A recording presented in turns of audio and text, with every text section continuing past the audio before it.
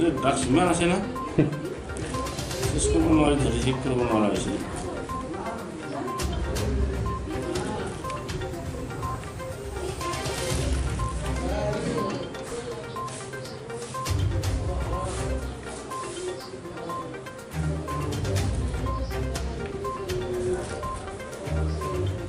কৰিছোঁ আজি আমি আবেলি সময়ত এটা খবৰ পাওঁ যে চাহপতিৰ ওচৰত কেইজনমান ল'ৰাই ড্ৰাগছ খাই আছে আৰু লগতে ড্ৰাগছ বিক্ৰী কৰিছে সেইমতে আমি গৈ পেলাই অভিযান চলাওঁ আৰু দুজন এজন হ'ল চাইদুল ইছলাম আৰু আনজন হ'ল সোমনাথ চাহা দুজনক হাতে দুপাই কাৰ্য কৰোঁ আৰু তেওঁলোকৰ পজিশ্যনৰ পৰা ওঠৰটা ড্ৰাগছ ভৰ্তি কণ্টেইনাৰ পোৱা হয় আৰু লগত তিনিটা খালী কণ্টেইনাৰ আৰু এটা মোবাইল হেণ্ডছেট পায়।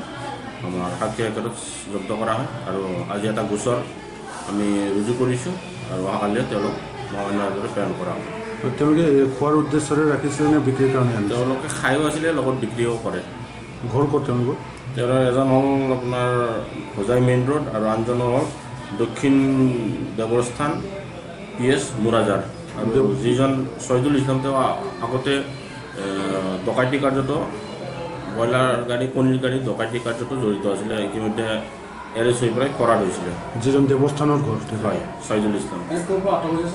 ক'ৰ পৰা আঁতৰ হৈছে ছাৰ চাহাপতিৰ পৰা